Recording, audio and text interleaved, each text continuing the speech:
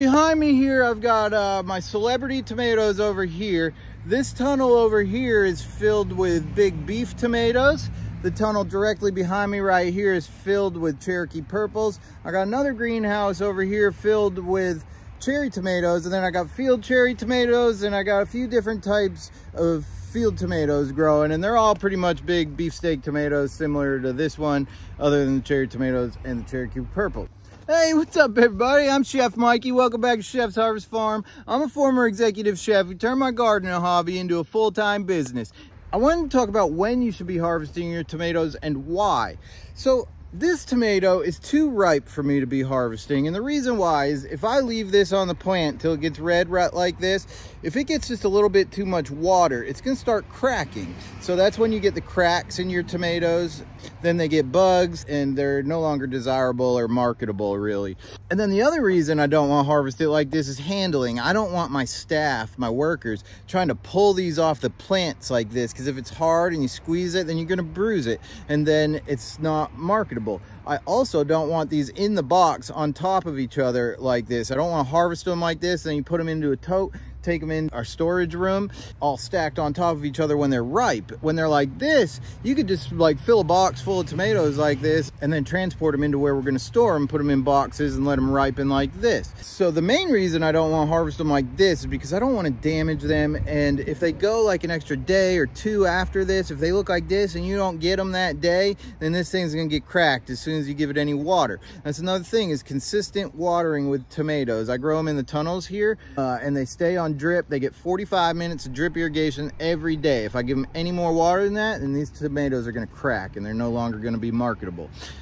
So I harvest my tomatoes like this. As soon as you see them start to turn red, that's when I harvest them.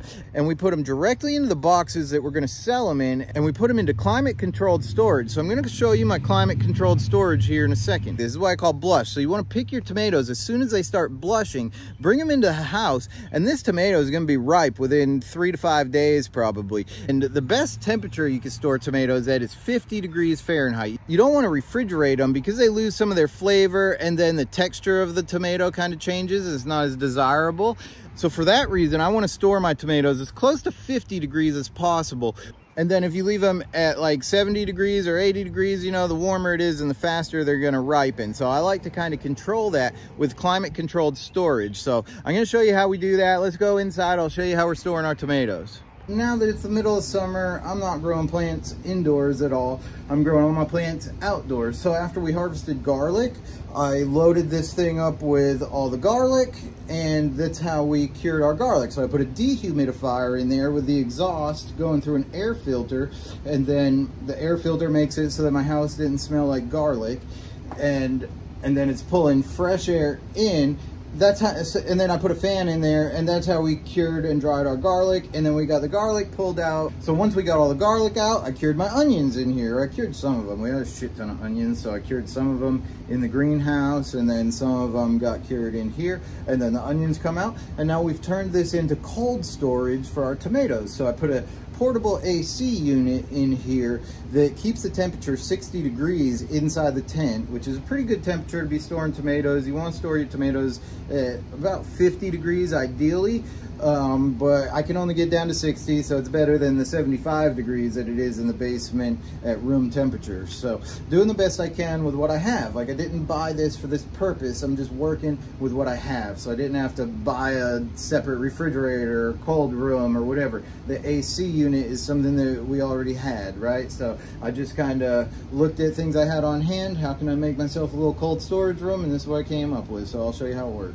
Okay, so you can kind of see it's all filled with tomatoes right now. Um, I'll take a lot of them to the market tomorrow and then the rest of them will stay in here. I've already got about 100 pounds sold for restaurant sales on Tuesday. So we're harvesting them when they're not quite ripe and then we're letting them ripen up in here.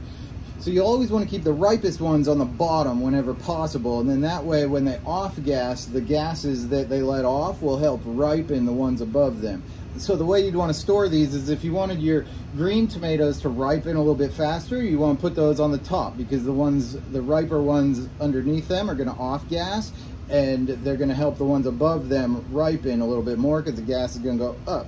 So if you wanted the ones, the green ones to stay green a little bit longer and the ripe ones to ripen a little bit more, you put the riper ones on the top and the bottom ones will off gas and help the ripe ones get really ripe if you need them ripe like within a day or two days. But then if you wanted to wait three, four, five days for them to get ripe, then vice versa. You understand?